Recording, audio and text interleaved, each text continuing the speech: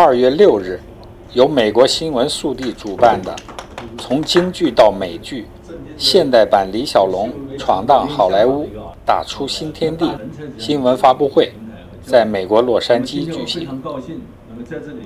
主办方向新闻媒体介绍了一个京剧之星，从一个身有残疾的中国少年，到美国好莱坞动作导演和演员。也被好莱坞业内称为中国版的李小龙的励志故事。主要的使命就是发展我们的电影，然后把京剧能不能带到电影里面。包括我刚刚啊自己自编自导自演的这部电影叫做《Persevere》，然后讲述的其实也是我自己一个个人的人生经历啊，通过一个怎么说来一个瘫痪的人。然后再回到他自己武打的艺术生涯里面。李阳的故事已被拍成短剧，近期正酝酿以他为主演拍一部好莱坞大片。通过这一部电影呢，那么我也参加了很多美国这边的电影节，呃，也受到了很多 production company 的好评，包括导演们的这些喜爱。然后我们现在在合作，准备要把这部短片拍成一部好莱坞的大片。那么讲述的其实就是说，很像李小龙的故事，也是很多社会人士给我封了一个称号，叫做现代版的李小龙。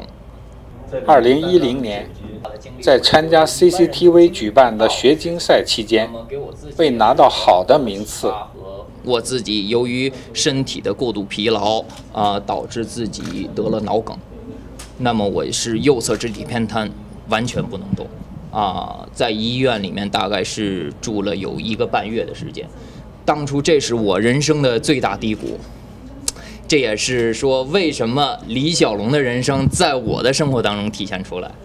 这个经历是他成长中非常大的打击，同时也改变了他的人生。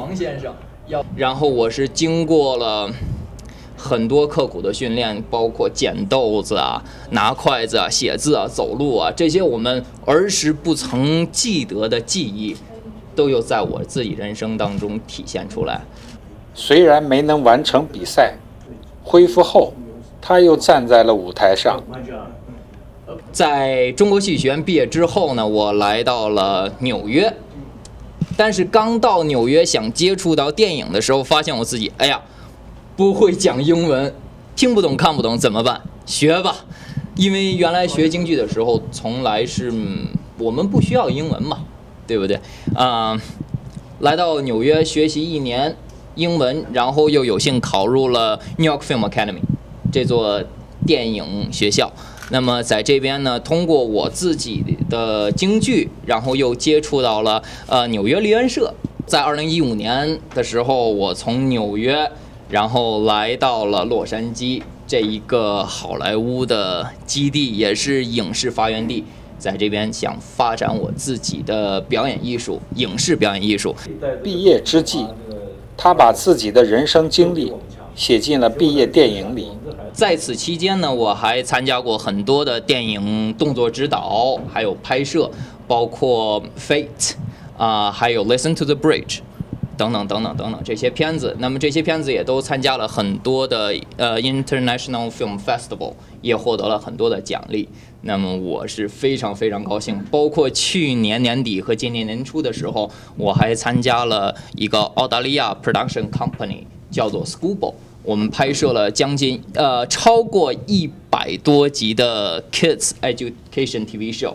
那么我们现在也是在继续合作，很有可能，嗯，马上在这个月中旬，我们可能要去到呃 Houston。在那边要继续再拍，可能甚至要一百或者二百多集的 Kids Education TV show。经历了风雨人生，他又有幸结识了李小龙先生的传人，包括我的师傅黄先生，他是李小龙先生的嫡传弟子。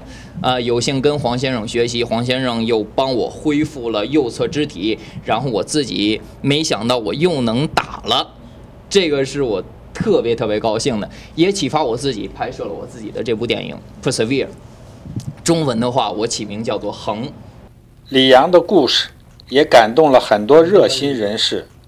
美国新闻速递今天特意召开这个发布会，来推荐李阳这个优秀的中国的青年演员。啊，我们的目的呢，是主要是为了向大家展示他这个身残志不残、顽强的拼搏的呃这种精神。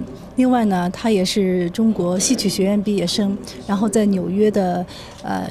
电影学院毕业，所以等于是一个贯通中西的人才。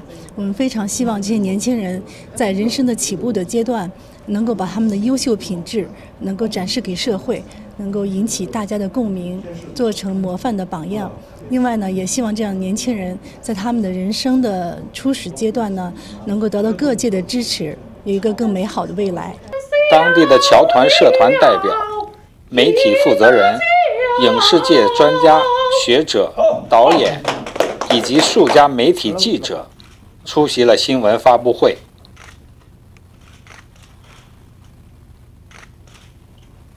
美国新闻速递，洛杉矶报道。谢谢。